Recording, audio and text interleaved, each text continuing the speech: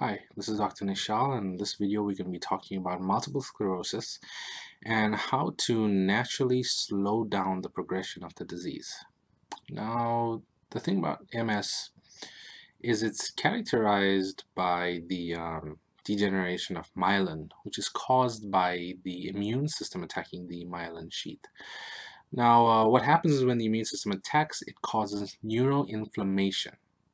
So the key to stopping or slowing down the progression of MS is to get a control is to get control over neuroinflammation to reduce it as much as possible.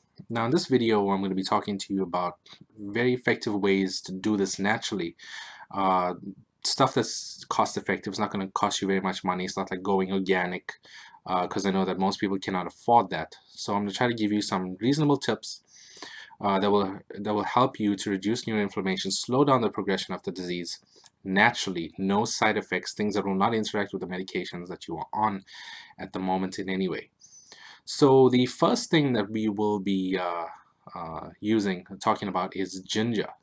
Now, a lot of people are thinking, oh, ginger, okay, yeah, that's used for um, nausea and, and uh, um, vomiting and things like that.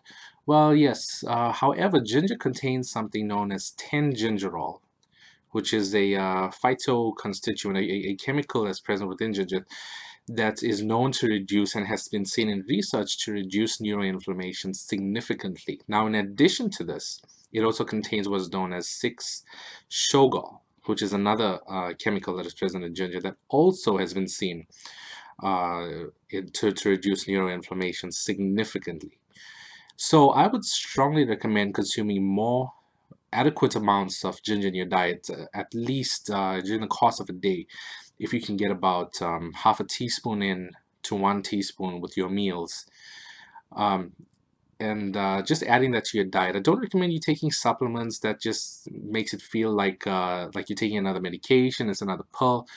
I'd, I'd recommend you taking it as um, uh, basic, basically as a food additive. Now the second thing is cinnamon. Now cinnamon, when I'm talking about cinnamon, I'm talking about Ceylon cinnamon, not um, cassia cinnamon, which is um, Ceylon cinnamon is basically true cinnamon, and cassia is kind of like the adulterant. It's um, it's a substitute, not an adulterant. It's it's more of a substitute. They basically have the same aroma, but it's not the same thing. Now, why cinnamon? Well, cinnamon contains cinnamaldehyde. Cinnamaldehyde uh, also reduces neuroinflammation. Now, there's tons of research on this. You can you can Google it yourself. Uh, cinnamaldehyde neuroinflammation research. Just Google that. You'll you'll find uh, uh, quite a bit of information on it. Uh, and that's another thing that reduces inflammation. So I would recommend now foods that contain contain these things. Uh, there's certain recipes that you can use to include these things into your diet, so so you're not like you know just trying to figure things out now but before I get to that, let me uh, let me discuss the next thing, uh, which is turmeric. Turmeric is also known as um, curcuma uh, longum. Now it contains a uh, chemical constituent known as curcumin. There has been so much research on curcumin and its anti-inflammatory analgesic effects, uh, as well as its anti-cancer and so many so many other effects that it has and uh, it's quite beneficial. It's becoming quite popular in the natural health uh, communities, even with uh, uh doctors as well, and MDs. And um, now the thing about uh, curcumin and, and turmeric is it's not uh, not always completely absorbed in the body on its own. It has to be taken together with something to enhance its bioavailability, which would be black pepper. black pepper contains piperine, which increases bioavailability up to 3000%. That needs to be taken together with turmeric. So if you're going to use turmeric in your diet, also use black pepper. And I don't recommend you taking piperine supplements. A lot of people in the health store, health food stores will tell you, oh, just take a piperine supplement. No, black pepper also contains trace minerals, which are essential for absorption. Trace minerals like chromium and vanadium. So remember, always get things from whole sources, whole herb sources, whole food sources, not extracts, no taking pills and things. There's no need to add all of these things into your life when food itself can be used as medicine. So those are four things I mentioned. Ginger, cinnamon, turmeric, and uh, black pepper. Now, there are certain foods that contain all of these things, certain recipes you can use. Specifically, East Indian uh, diets contain all of these um, spices in it, which is probably one of the reasons why in countries like India and Bangladesh, uh, and even Sri Lanka, the uh, occurrence of uh, neurodegenerative diseases like multiple sclerosis or even Parkinson's and Alzheimer's is not so common.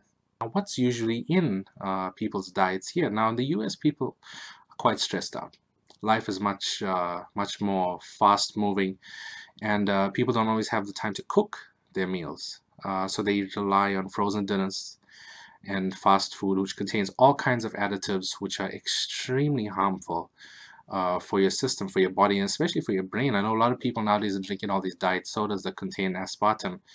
Aspartame is a uh, artificial sweetener, which is a neurotoxin. It promotes neuroinflammation. This, these are the kind of things you don't want to have um, in your diet, especially if you have uh, an autoimmune condition like MS. So you want to avoid all of these things. You want to cook your meals. Uh, you want to drink more water. You want to get fruit juices, not the packaged fruit juices again, um, because that contains lots of sugar. Now that comes to another topic which I'm going to be discussing in another video, which is insulin resistance and its connection uh, to MS. Um, I'm also going to be discussing um, how to regenerate neurons um, and how to regenerate brain tissue in general and what is a key nutrient lacking in the diets of people nowadays are responsible for uh, regrowing brain tissue, regrowing myelin, supporting the production um, of myelin and the production of brain tissue in, in, in general. Because as you know, uh, every part in our body goes through wear and tear. We got to give it the raw materials to, to regrow itself. So I'm going to be discussing that in a, in a few other videos.